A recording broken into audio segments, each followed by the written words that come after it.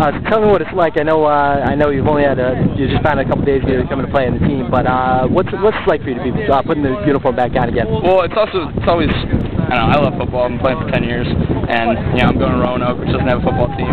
So I was you know kind of bummed out about that, thinking about you know maybe doing some things to try to get somewhere where I can play football again, just because I miss it already. But getting called to this team is just amazing. You know, all the best kids.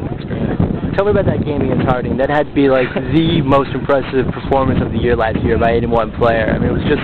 Could you just feel it when you were going out there? Like every time, did it seem there were huge holes there open for you? It, yeah, I got to credit my offensive line. Obviously, you know everyone on kickoff return, you know for opening big holes. I just, I just kind of want to come out, senior homecoming, you know, make it special. It's the last, last homecoming I'll ever have. So I want to make it something I'd remember. Now, uh, what, uh, what are you playing offense or defense? Offense. Offense. Offense and returning kicks. Uh-huh.